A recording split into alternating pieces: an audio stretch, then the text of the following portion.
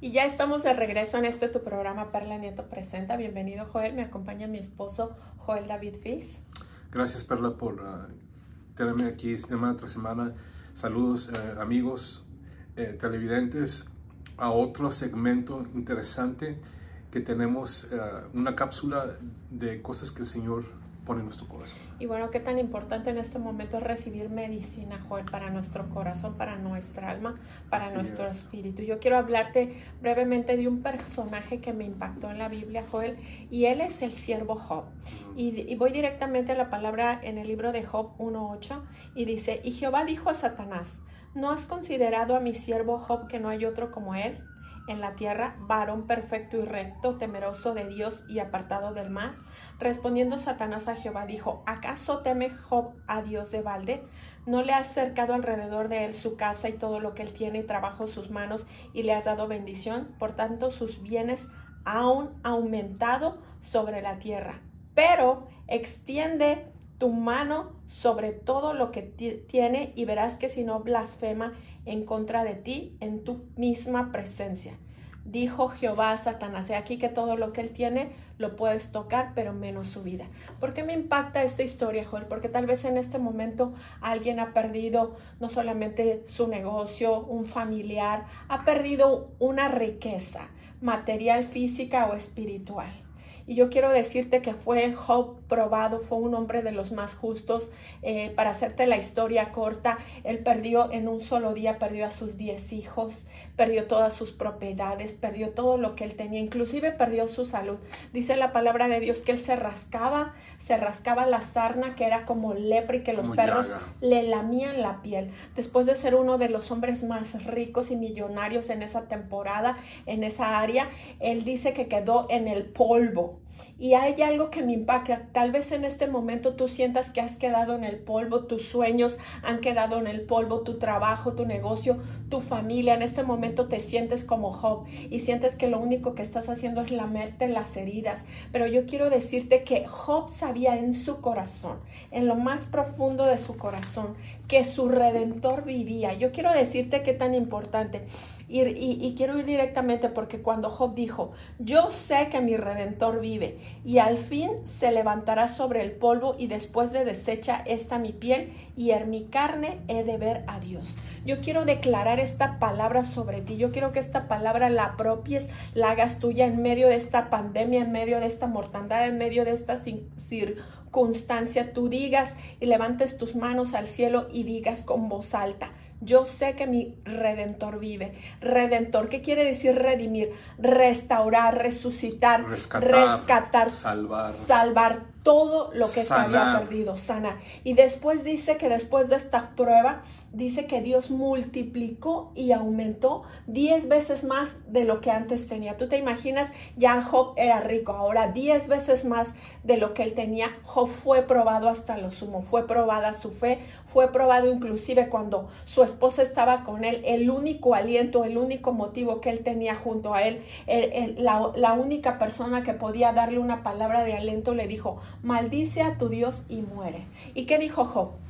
Oye, ¿qué habremos solamente de recibir las cosas malas de Dios? Jehová dio, Jehová quitó, sea el nombre de Jehová exaltado y glorificado. Yo quiero decirte, no importa cuál sea tu estado en, esta, en este momento, si te encuentras como Job en el polvo, eh, yo quiero decirte que tu redentor vive y aún de las cenizas donde tú te encuentres, aún de las cenizas, y aunque esté deshecha tu carne, tu corazón y tu espíritu, aún de ese, de ese lugar, de ahí el Dios Todopoderoso te va a levantar. Hay un pasaje en la Biblia donde, en el Viejo Testamento dice, donde hay más tinieblas, donde hay más eh, momento tenebroso, pecado, incertidumbre, desesperación, abunda más la gracia del Señor. Eso es importante. En Romanos 5:20 habla en- fí- fíjate lo que dice Romanos 5:20.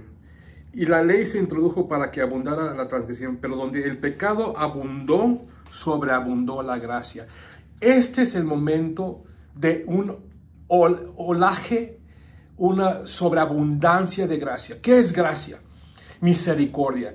Es que es cuando puedes, si tú buscas al Señor, es cuando lo puedes encontrar. En este momento lo puedes encontrar.